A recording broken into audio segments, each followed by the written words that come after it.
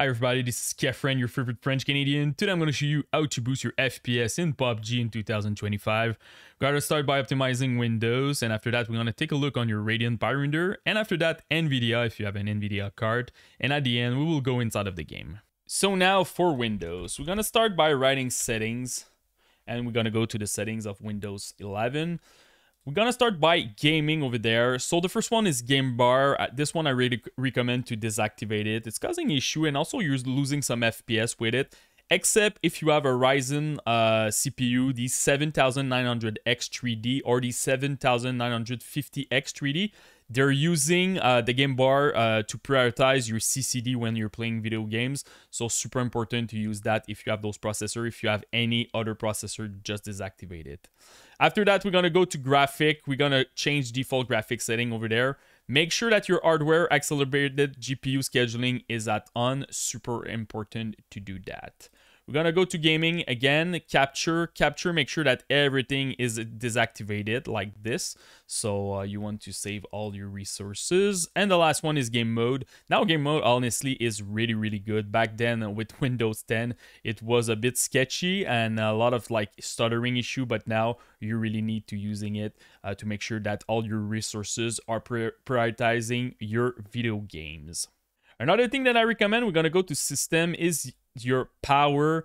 Uh, back then, uh, we were recommending to use the best performance, but now, honestly, just use balance. You will have better boost clock, longer boost clock. Uh, I did a couple of benchmark balance versus per best performance, and honestly, I'm getting better result with balance. So super important to do that.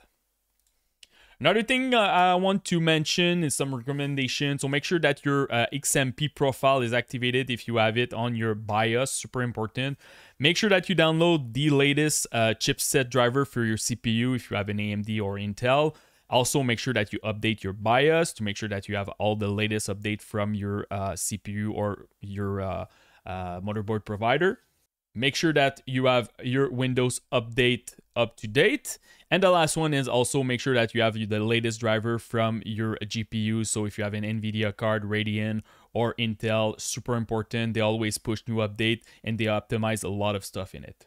Quick break to show you something I've been using lately. Uh, the Silkland Certified HDMI 2.1 cable. It's one of the rare cables on the market that actually HDMI 2.1 certify. You can even scan the QR code to verify it. And uh, if you're into gaming, uh, this thing is perfect for 4K at 120Hz on PS5 or Xbox. It also handles 144Hz on PC with no sweep.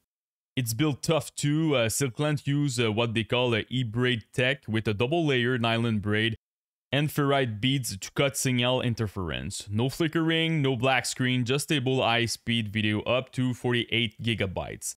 It also supports 8K Dynamic HDR, Dolby Atmos, uh, DTS:X, basically all the next-gen format you expect for both video and audio. So if you upgrade your console or display, don't bottleneck the setup with a cheap cable.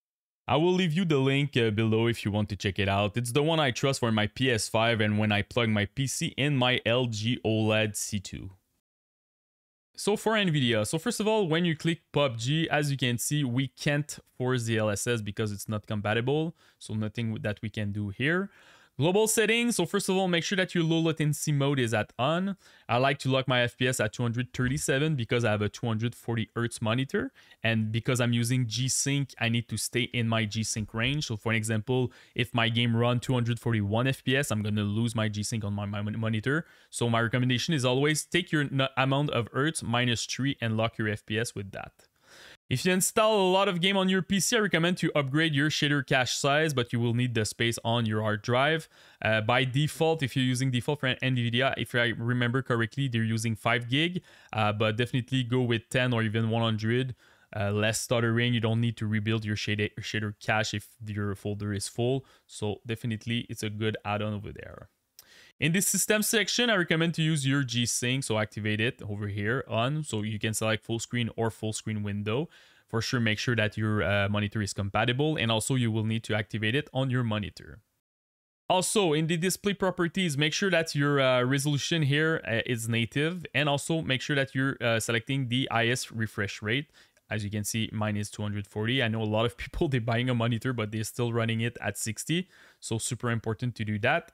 And the last one in the color section, if you have a good monitor compatible with HDR, normally you should put your output color depth at 10 and your output dynamic range at full. Uh, for PUBG, the, the game is very gray, so if you want to have better color and to see uh, your enemy, uh, digital vibrance, I just always add 5%, so by default it's 50, now I'm using 55. It's a little bit better to see enemy.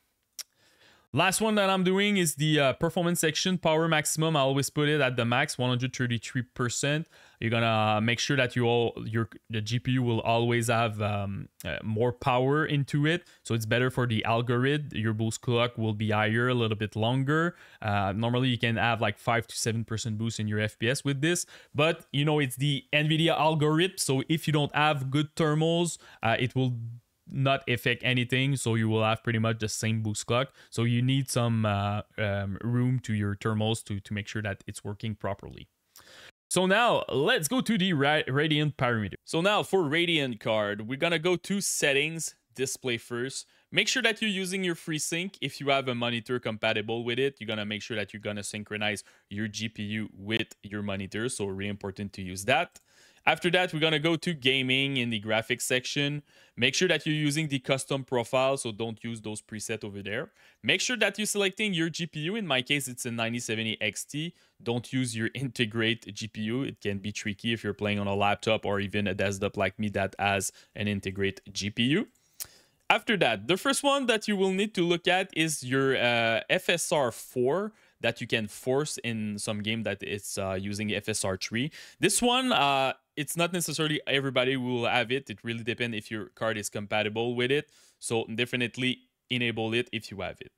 Also, I want to mention if you're playing in a game that uh, doesn't have FSR, doesn't have frame generation, and you're struggling with your FPS, Fluid Motion Frame can be a nice uh, option over there. You activate it, you're gonna get like 30 to 30% boost. It will add input lag, so don't use that if you're playing a competitive game, but this one can help with uh, older game. Uh, don't use anti-lag 1. This one is not good. Don't use a Radeon Boost. Radeon Chill, I really recommend to use it. And I will explain you why. So for an example, in my case, right now I have a 170 Hertz monitor. And to stay in your FreeSync range, you need to be uh, you need to produce less than 170 FPS. So my recommendation is take your amount of Hertz on your uh, monitor. In my case, it's 170 do minus 3 and lock your FPS at 167. You can do the same thing if you have a 240 Hertz monitor, go with 30, uh, 237. Uh, so you're always going to make sure that you stay in your free sync range. It's better for the fluidity of your image. And also, really important, if you want less input lag, you need to make sure that your GPU is not at 100% utilization. So uh, 98, 97, something like that. So sometimes it's good to just lock your FPS again, it depends on the game. Maybe in some game, 160 F 67 FPS will be 100% uh, utilization for me. So you can go maybe a little bit lower. You can also do it per game. Right now in the graphics section, I'm doing it for all my games on my computer but sometimes i don't know you're playing the new assassin's creed just go to assassin's creed and you can lock your fps over there if you want. So really important to do that for your uh, utilization, but also to make sure that you're staying in your FreeSync range. Another thing that I want to mention, image sharpening too can be nice if you don't add FSR in game or a sharpness slider. Uh, so if you're playing an old game or a game that just have like TAA and the game is very blurry, activate this and move your slider between something 60 to 70% depending on your preference and it will really help to have a better image quality. Last thing that I want to mention, if you have some random stuttering and you don't know why, this option at the end can be really nice. It resets your shader cache, so you just perform a reset.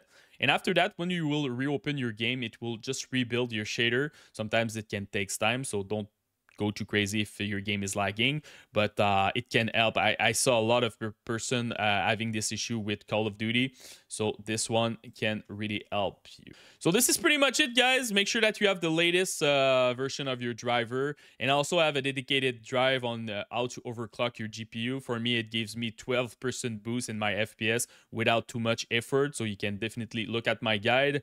So now let's go in the game now inside of the game, so first of all, uh, display settings over there, make sure that you're playing full screen. This is the best parameter to have less input lag and most of your FPS. Resolution, make sure that you're playing native, so depending on your monitor. I just cap my FPS in the lobby at 60. In game, I just play unlimited, but honestly, I lock my FPS, uh, like I said, uh, with NVIDIA at 237 to make sure that I'm staying in my uh, V-Sync, uh, G-Sync range. Smooth frame rate, disable this. You don't want to turn that on. And also it adds input lag. And this is pretty much it. In the advanced section, the first one is render scale. To have a better visibility, I just put this one at maximum at 120. But you need to have a lot of FPS to do that. So for an example, you have a 144 Hertz monitor, you're playing at 141 and uh, everything is stable. Definitely put some render scale uh, a little bit higher. The default is 100, so this is like just native. Uh, but if you want better visibility, you can uh, crank this up. But if you don't have those FPS and you need performance, this will tank your FPS. You're gonna lose like 8% to 10% when you're playing at 120. First person, I just play at 90. I feel like uh, I'm a little bit uh, zoomed in when I, I shoot 120, uh, 103. Honestly, it's too far for me. So that's why I'm playing at 90 for the FOV. It's question of preference. A lot of people is playing at maximum. But uh, if you're going higher, you're going to lose a couple of FPS with this one. Anti-aliasing, I like to play at medium. Very low for me, too much noise in the image, even low. Medium is a good balance. After that, the game looks too blurry. Honestly, this game really needs some DLSS and or FSR. It will really help for that. Post-processing, very low. Better visibility and a nice 6% boost in your FPS. Shadow again, too much noise when you go too low, and also it will help to see enemies in uh, in houses and stuff like that. You can see a lot better the um, the, the shadow. Low is not bad, so if you're struggling with your FPS, honestly, the low can be a good set setting, but for the majority of the people, medium should be fine. Texture, uh, it really depends on the amount of VRAM that you have on your GPU. So 8 gig and more ultra, 6 gig high, 4 gig medium, 3 gig low, and less than 3 gig go with very low. After that, in the FX section, very low, foliage very low. It will help a lot with your FPS. 10% boost with uh, both at very low over there and better visibility also. View distance for object. I like to play at height, um, less pop in, less visual distraction. But this one tanks your FPS. It's like 3% for each bracket. So for the majority of the people, play at medium, uh, depending on now how much FPS that you need. If you're really struggling with your FPS, go with low for this one. Sharpen, I like to play enable. The game looks too too blurry without it. I I hope sometimes it's just gonna release some sliders, 0 to 100%, and you can just move it. VSync disabled to have less input lag. Motion blur disabled. You don't want this effect. It's too blurry. And the last one is your API. You have three different options. Honestly, for 80% of the people, DirectX 11 Enhance is the best one uh, to stabilize your FPS and also um, to have more FPS. If you're playing on a very old computer, 9, 10 years ago, something like that, definitely test DirectX 11. DirectX 12, uh, it can be good with like newer uh, GPU if you have a 5080, 5090, 4090, something like that. Test it out. Um, I got better result on my 9070 XT with DirectX 12 versus the 11 Enhance. So definitely do some testing with this one, but normally for the majority of the people, DirectX 11 Enhance is the best one. So this is pretty much it, guys, for my PUBG 2025 guide. If you have any questions, just comment in the YouTube section. Post me your rig, CPU, GPU, and RAM. I will try to help you the best that I can. And don't forget to subscribe to the channel.